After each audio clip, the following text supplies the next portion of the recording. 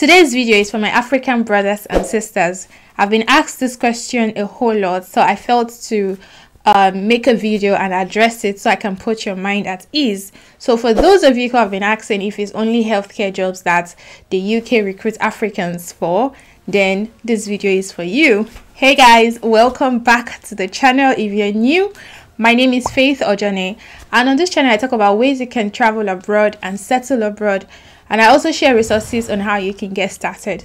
If this is the kind of content you like, hit the subscribe button to join the family. Without saying so much, let's get straight into the video.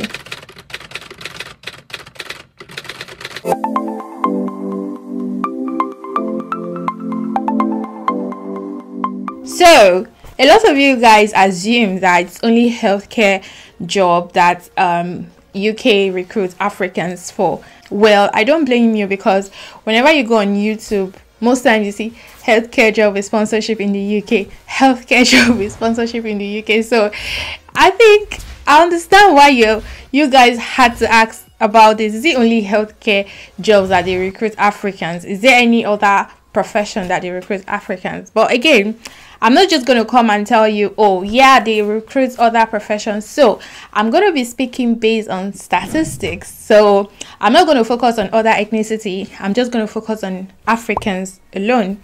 So if you're my African brothers in Zimbabwe, South Africa, Ghana, Nigeria, Cote d'Ivoire, Benin Republic, um, Tanzania. If I don't call your country, please do not be offended. I love you all. But generally, if you're an African, and you desire to come to the UK to work and maybe your profession is not in health sector, then do not worry, okay?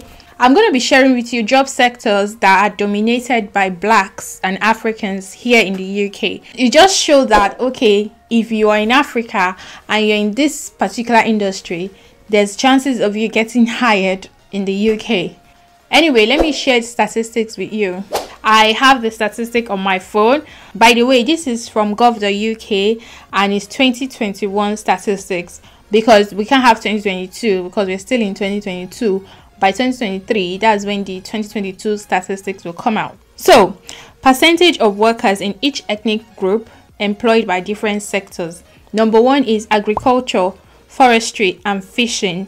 I'm not going to talk about other national like Asian, Indians, Pakistan. I'm just going to focus on blacks. Okay so for agriculture forestry and fishing there is 0.1 percent black in this industry. The ethnic group with the highest percentage is white irish which is 1.3 percent. They are the highest in agriculture forestry and fishing. There are not a lot of blacks in this um, industry. I hope this statistic sort of help you to okay since it's not there are not a lot of black i think i have opportunity to go into this industry. Second one is energy and water. So for blacks there is 1.5 percent that's in this sector. Ethnic group that has the highest is white irish which is 2.2 percent. For manufacturing industry we have 4.9 percent of blacks in this industry the highest percentage is white. I mean, white, they have over 10.2%. For construction, blacks is 3.5%. The highest percentage is white British. So the construction industry is dominated by white British with over 7%. For distribution, hotels and restaurants, blacks is 12.3%. The ethnic group with the highest percentage is Pakistan and Bangladesh with over 25.9%. So that's to say that distribution, hotel, and restaurant is dominated by people from Pakistan, um, India, that's Bangladesh. I mean, this one is so true because trust me, any hotel, restaurant you go to, you will see these people. So black just have 12.3%.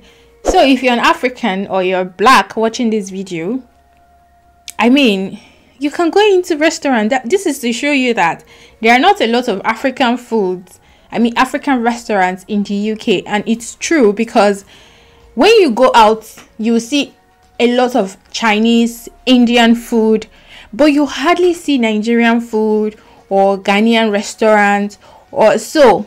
If you are really interested to work in hotel or to work to own a restaurant, you can apply for a startup visa. Tell them you've noticed that there's short of African restaurants in the UK and you know it's going to flourish. That's why you're coming to start a business and I mean a restaurant business. And trust me with this statistic they will grant you the visa. Well I don't know that. I don't work in immigration.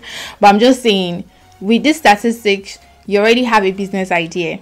The next one is transportation and communication. Blacks 10.3%. Indian has the highest percentage with over 18.9 this is also true. That's when you go to customer service a lot of Indians are there. You see Uber drivers, cab drivers, most of them are Indians. These people know how to hustle. So for banking and finance, the highest percentage is 23.4%, which is Asians. Blacks is 16.2%. For public administration, education and health, Guess who is ruling this sector? Give it up for my black community. yes, blacks are leading this sector with over 47.2%. So, this is to say that blacks are dominating the public administration sector, the education sector, and the health sector. A lot of nurses, carers, a lot of lecturers, a lot of admin, um, public admins, they are in these sectors. So this is to tell you that if your current occupation or current profession is public admin, education and health, then I mean you are dominating this sector. Like the gap is so so wide.